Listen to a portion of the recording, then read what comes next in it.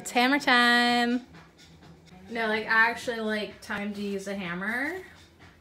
So I got this fabulous cactusy tapestry from my friend Asiel the Oracle. And I have a use for it now. Now, I finally have a use for it.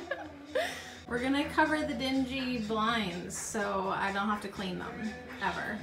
Never. I'm never cleaning them, so I'm going to cover them.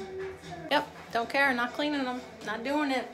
We're gonna put these up and then I have these brown ones to put like boop boop on the sides. Sound good? Oh yes, excellent hammering skills if I do say so myself. Ah!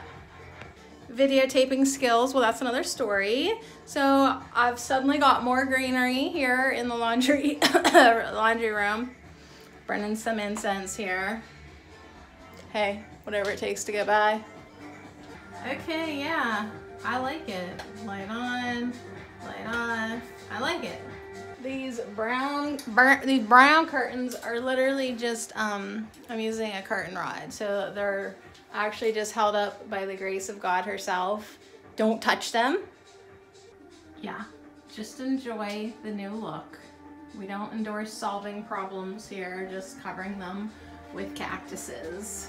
Works for me.